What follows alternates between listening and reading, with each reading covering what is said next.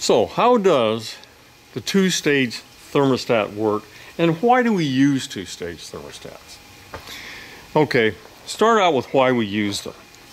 Now this is an old antique thermostat, but it shows how it works. That's why I'm using it. When you purchase a heating or cooling system for uh, your home or business, whatever it's for, the load is not the same all the time, especially in heat. Uh, you set, say, 70 degrees in the house, and if it's 40 degrees outside, you will not need as much furnace as if it was 15 degrees outside. So you have to build a furnace so it'll handle uh, most of the coldest days. Uh, but most of the time it doesn't work at that capacity. The one we'll be covering here is two-stage furnaces that start usually half of the BTUs and then they'll go to the full uh, BTUs of the furnace when, uh, when necessary. The two-stage thermostat, when you turn, in, turning the heat up is just like the heat, the temperature and the structure going down. So as I turn it up, you can see the mercury move in one of the bulbs. That's first stage.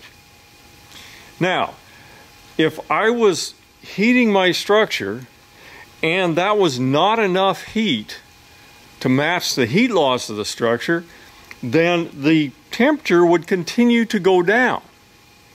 As I push this up a little farther, this one's set really long ways away, the second one goes on. That's the second stage. It's an energy saving device. It's a device that actually makes the temperature in the structure a little more steady because it's a closer match to the heat loss. So, how do we hook these things up? Here's a look at the subbase of this thermostat. Now right here you'll see W1 and W2. W1's first stage, W2's second stage.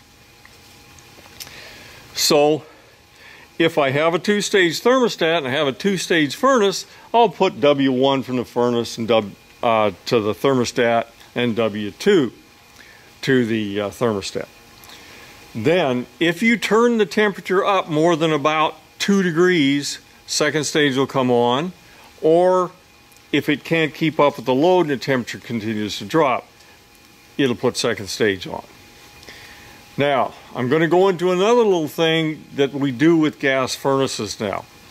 We actually set up a lot of these two-stage furnaces, and they come from the factory this way, and I can use a single-stage thermostat. Two-stage is actually better, but you can use a single-stage thermostat.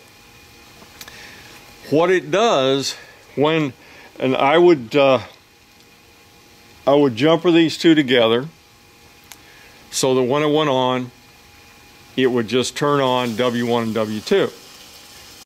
Now what that does on these newer furnaces is it allows the first stage to come on for about 10 minutes.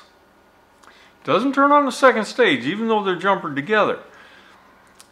If they're both jumpered, then it'll come on for about 10 minutes in first stage, then it will go to second stage. That's kind of a poor man's way of setting up a thermostat so that if the temperature is not caught up in that first 10 minutes, it will add more heat to catch it up. That's all done by the integrated furnace control inside the furnace. Pretty simple, pretty easy. Two stages better, but it will work single stage reasonably well. So that is the two-stage thermostat, why we use it, and how you hook it up.